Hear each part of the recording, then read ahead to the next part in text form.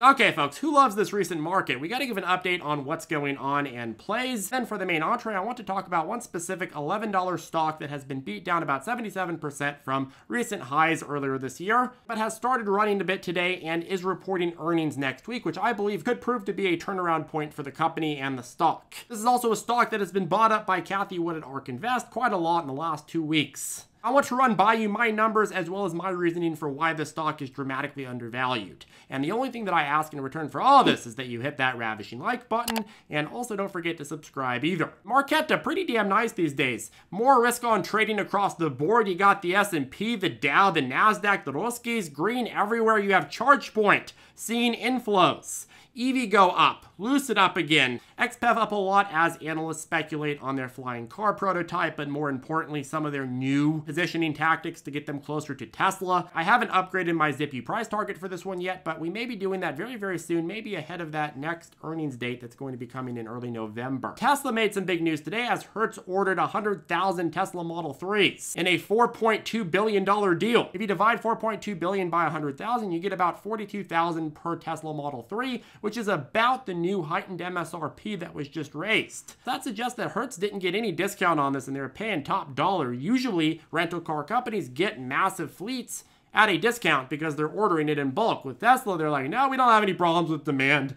We're just going to sell it to you at the regular price. Funny, you look at the stock price and you think back six months ago when all the analysts and all the mainstream media were talking about how Tesla had far outpaced the growth of EV adoption and how all the EV hype was overblown and now it's basically doubled from those prices. And thanks to Tesla hitting a trillion dollars in market cap, Elon Musk is now worth about a quarter trillion dollars. However, he better get himself to Mars real fast before they start taxing unrealized stock gains. Moving on, you saw DWAC and the DWAC Trump sympathy trend explode in the pre-market before getting overall whacked or dwacked rather in the market hours. In last night's video, we were talking about ticker symbol MARK and how it was running up dramatically into after hours close on Friday because traders were speculating on a continued rally and positive news cycle over the weekend that, would induce a massive buying storm come pre-market open on Monday, and that is exactly what happened. It exploded from just under three bucks to $10 within the first two hours of trading, and then folks took profits and it sold off. You could say it got dwacked.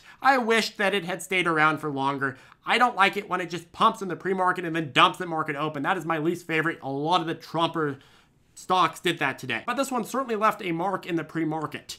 Ha, too many puns. But the Trump Trend's latest hurrah this morning was very, very intense. It spread all the way to CTRD, which is an NFT stock that literally blew up like 70% on news that they were selling an NFT of Trump with an exuberant blonde lady. For like the last couple hours of pre-market open, people are just buying everything related to Trump. PROG breaking out again to post-crash highs as retail fights short sellers all the way to the bank. This has been very, very aggressive as an outperformer. I continue to see PROG attempting newer and newer highs, but let's be pragmatic here.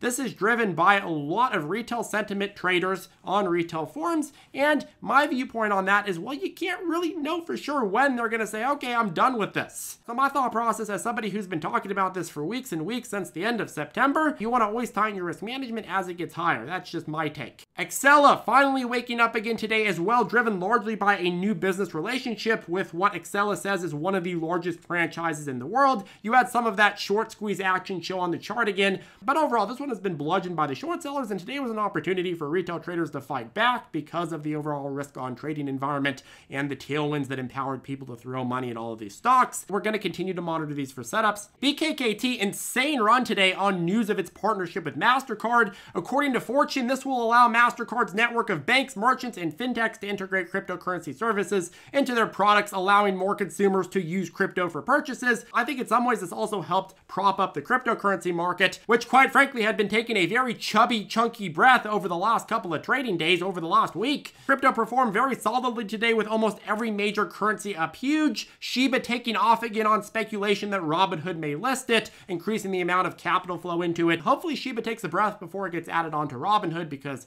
if it goes up too fast, Robinhood may have to restrict trading in order to protect its users. Mara, lovely Mara, seeing some beautiful inflows today. Now, as much fun as short-term trades are, and they're a lot of fun, there's something to be said about putting the work in on on a play, buying it low, and then just riding the damn waves, of which there are many, because Mara's a dirty little tease. You did the work, you placed your own price target, now sit back and relax. You know how many people panic sell Mara every single time it's down, only to then go and panic buy it at new highs? I would argue the average retail trader does that with every stock, but with Mara, it's probably more extreme because of the massive, massive volatility. My thought process is, hey, just buy the dips and ride it to the new highs, and then you can lock in profits during the uptrend if you want, or you can ride it to your price target that you valued it at. I presented my numbers on Mara about a week ago. I'll link to the Mara video below. But other than that, I'd say just enjoy the ride. Okay, now for the main topic of this video, Skillz. This is a stock that went parabolic towards the end of 2020, early 2021 hype cycle, and then after vomiting shareholder value for about eight weeks, weeks, I started really liking it and made the case for it publicly on the channel at just under 19 bucks a share. I looked at the company and I said, hey, I don't think this is worth 46 bucks. But if you look at what they're going to accomplish over the next couple of years, I think it may be worth a lot more than it's trading at now. And thanks to some meme style squeezes, it ended up bouncing later to $25 before going back to hemorrhaging value for these last previous five months. Now, in hindsight, it probably would have been useful to wait a little bit longer to get giddy on the stock.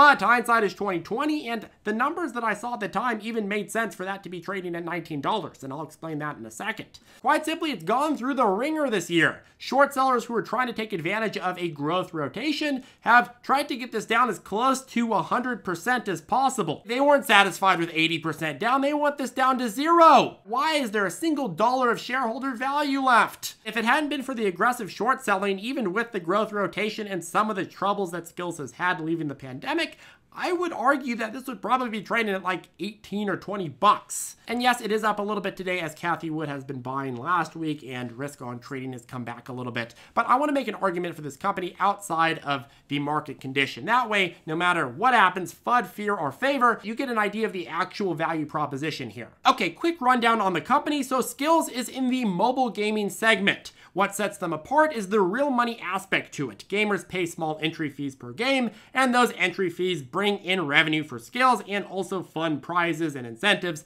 for players as well as for developers to create more games. They get around the gambling regulation by marking all of these games skill based instead of luck based, hence the name Skillz. You're developing skills to earn more money and more prizes instead of gambling on random chance. In effect, you have a really, really unique business model and I think disruptive business model that incentivizes players to play more, developers to develop more, all while at the same time generating revenue for Skillz. It's a unique take on mobile gaming and at scale, this would be an excellent business model. This year, they've made great progress with partnerships with Exit Games, a multi-phase partnership with NFL, and an acquisition of Aarki, which is a platform with more than 400 465 million monthly users, and a lot of these partnerships are going to be showing their effects in upcoming quarters. I absolutely love Skillz business model. I think it's going to be a massive disruptor, and these partnerships are going to benefit it greatly. However, early stage companies that have massive growth potential also have massive risks associated with them, and you always have to be aware of them and make predictions based on said risks and the chances that they pan out.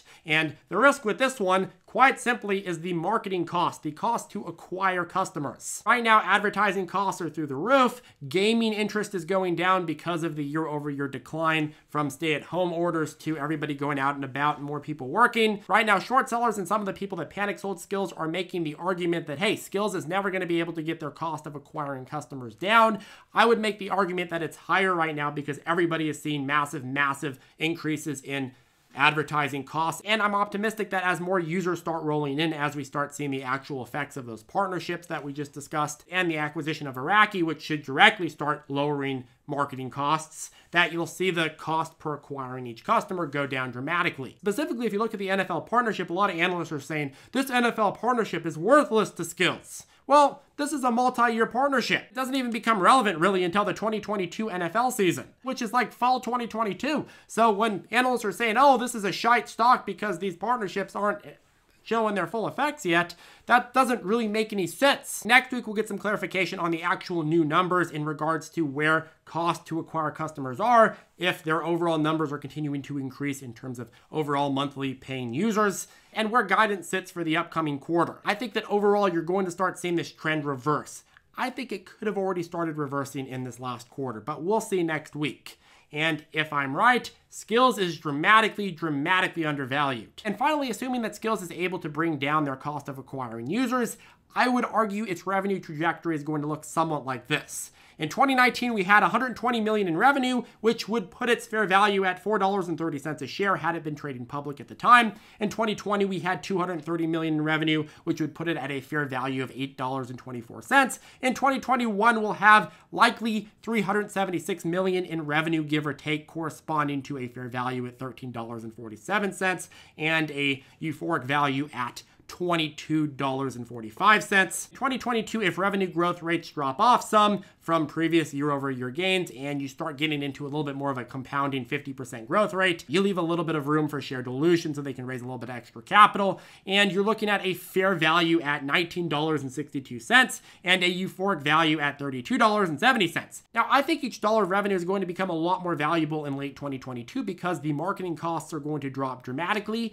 at which case I would expect higher multiples multiples closer to my euphoric prices at $32.70. I also think the growth trend that we saw earlier this year that valued Skillz all the way up to $46 will come back to some extent once growth stocks start being considered rotation safe, which also contributes to this likely hitting that euphoric range in 2022. But in terms of actually earning it, I would argue that by 2023, with 846 million in shares, you're sitting at a price of $29.43 at fair value, $49.04 at euphoric prices. And if you're valuing Skillz based on a development of the current partnerships that it has, the overall trend trajectory that it's on, and expected revenues, well, then I'd argue that the price should be somewhere between the euphoric case for 2022 and the fair value case for 2023 which would put my price target somewhere between $29.43 and $32.70. And we made some leaps here. I assume that revenue is going to continue growing at a high rate, albeit slightly slower than it has been in previous years. I assume that proof of concept that Skillz has shown over many, many, many, many quarters will continue to show. Those are a lot of assumptions. Don't get me wrong, but I think that you look at the data that they've shown, I think that you look at the trend trajectory, and you look at the overall technology and uniqueness of the business model, and you look at the competent leadership, well, I would say it has a strong chance of pulling it off. Right now, if you're a bear, you're arguing that the cost to acquire customers is just too damn high. I'm arguing that they have a lot of shovels to get themselves out of that situation. And I haven't even mentioned how far they can go with acquisitions. They can continue to acquire companies that can fix that problem for them.